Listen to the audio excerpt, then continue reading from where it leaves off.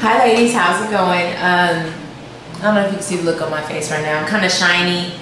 I don't really have a lot going on right now. Don't ask me what's going on with my hair. But um, I just came to answer some questions or whatnot about what you guys had. Uh, I got a couple messages regarding some um, regarding some videos. My soft brown, soft pink, soft pink work look, I think. Um, all the time, well, majority of the time, whenever I'm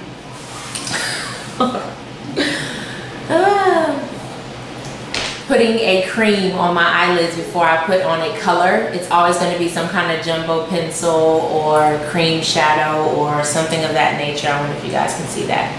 This is a white, but in that actual video, I put I used pink. This is so old. This is Mary Kate and Ashley actually. Shimmer Plus all over crayon. It's just a, a shimmery pink. If you can find a shimmery pink, you know what I'm saying, cream to put over your eye, then um,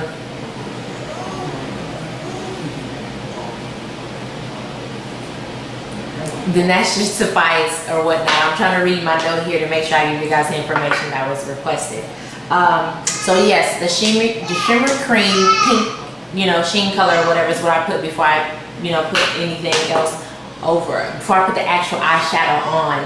Um, the cream that I put on my face all the time is really dirty, but it's, it's called Neutrogena Shine Control Primer. You can get this at any drugstore for about um, 11 to 12 dollars. Uh, it's a rice protein complex, that's what it's called. I'm actually in the process of looking for another one because this seems to seems to be clogging my pores more so now. Um, but I this is a staple. I will always use this. I've used this for quite some time and this bit has lasted me quite a while. Neutrogena Shine Control Primer. This is the cream that I put on my face before I put on any foundation at all on top of a clean face, okay? Um, let's see. What was another question that was asked? The cream I put on my face, the cream I put on my eyes, and the spray I use uh, before applying the eyeshadow.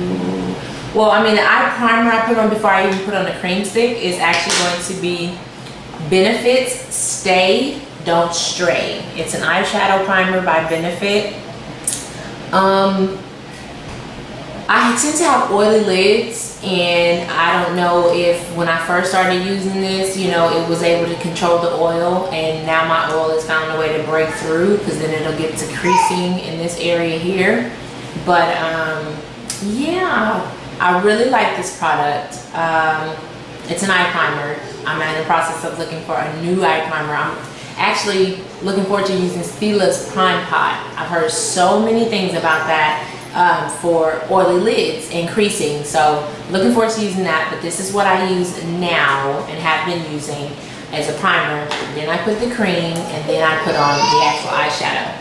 Um, the spray that I use after on my face, this is a De-Slick by Urban Decay. It's a De-Slick Makeup Setting Spray Oil Control.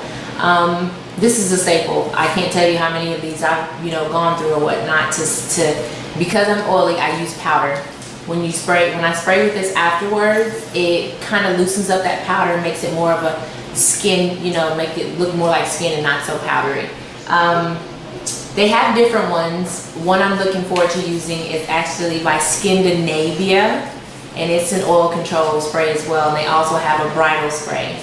Um, so on that note, that's the spray that I use, the creams that I use, ah, to my girl, um, you know, I'm looking for the rainbow look that I just posted. She wanted to know what products I use. I use all the products I just named. Instead of the pink sheer, I use the white jumbo pencil. Um, I use my 88 original Coastal Scents 88 eyeshadow palette.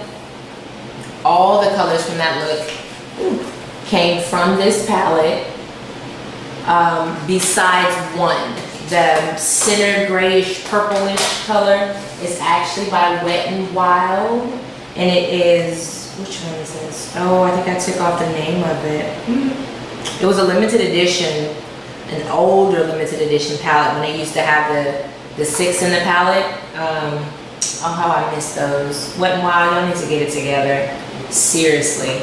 But, um, hmm. Anyway, I don't know what the name of the palette is, but this is it. This is that purple that I use there. And this is a Wet n Wild palette.